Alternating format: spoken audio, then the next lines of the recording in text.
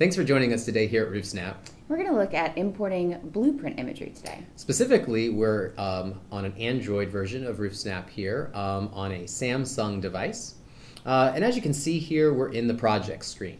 I'm going to go ahead, Katrina, and uh, just create a new project for the purpose of importing this blueprint or architectural drawing. Yeah. Uh, so let's go ahead. I'm just going to name it Blueprint. Okay. And we're going to put it into our demo office here. You may only have one office to worry about. So uh, with regard to the customer job site info, um, we're importing the imagery so we don't absolutely have to put in an address, but I would recommend uh, that you, of course, put in the name and the address of the project that you're going to be working on.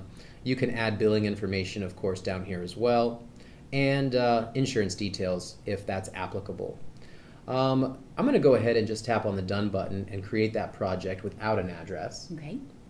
And go right into the sketch scene by tapping on that sketch tile. Perfect. And this is typically where you would um, find the aerial image of the roof. When you enter in that address, it's Mhm. going to take us into our current location. Yeah, and you noticed I allowed it to access my GPS location and it brought us here on our office building.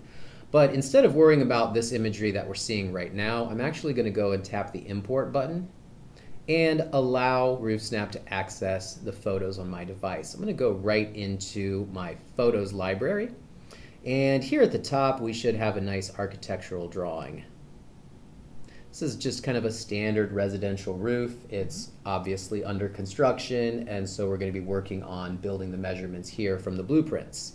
Now, this blueprint is spectacular for using in RoofSnap because there are so many measurements right on the roof section of the architectural drawing. It's ideal. What we've done here is we've actually just taken a screenshot of this page of the blueprints.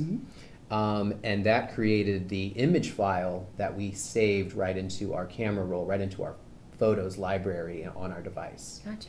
Because we don't need the full set of prints. We can't import a PDF. Right. It has to be, I believe, a JPEG or a PNG. Mhm. And when you take that screenshot, um, that's the easiest way to just to get a single image of just the section of drawings that we need here um, to, to, to measure it in RoofSnap. Yeah, absolutely.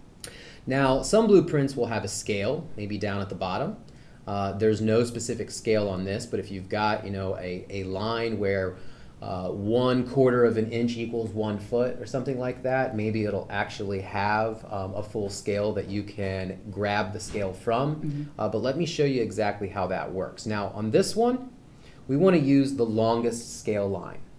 If I knew the total length of this lower um, eave section here, Mhm. I'd want to use that. You know, say it's 40, 45 feet long, something along those lines. Gotcha. But on this one, the longest one that we have is this, uh, this measurement here that's 17 feet 2 inches. hmm So what I'm going to do is just kind of bring that zoomed in so I've got that 17.2 kind of almost the full width of the screen. And then I'm going to flip over here at the bottom to the scale. From here, when I put my finger on the screen, it actually does give us a cursor. And it's kind of like drawing lines in, in um, the regular sketch scene. I start here at the left where that 17.2 um, begins. Okay. And I bring it all the way over. And you want to be dead on. So take a second, make sure you're right at the intersection where it ends, and then tap on the screen.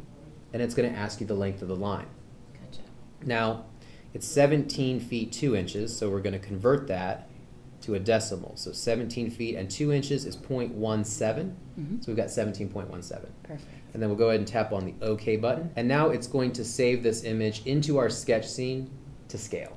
Perfect. So just to kind of show you real quick, I'll redraw out that 17 point, uh, 17.17 line. And we can see the length of the line as we draw. And when we get all the way out there, 17 point, It's one. right over it.